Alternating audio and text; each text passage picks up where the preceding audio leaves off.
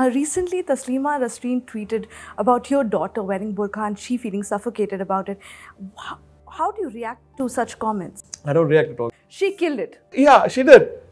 I think uh, what's good is if we uh, bring them up in a way where they know our troubles, they, they know our problems, they know that they have to inherit the good and bad from us.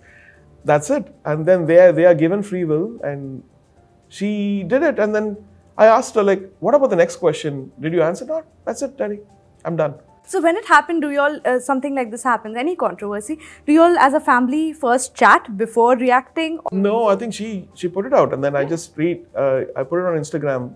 I thought it was very. Um, it needed because uh, she's behind the veil, and it's her choice. It's not a more than a religious thing. I.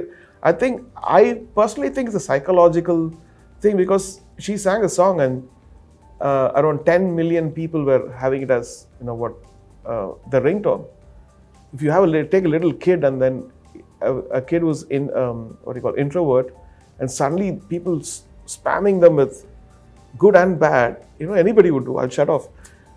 A male is not supposed to supposed to wear a burqa, otherwise I'll wear one because it'll be so easy for me to go shop, find um, you know study life. So I think she finds the freedom because she's uh, somebody who would go for the funeral of a maid, maid's mother or maid's relative, she'll go for that.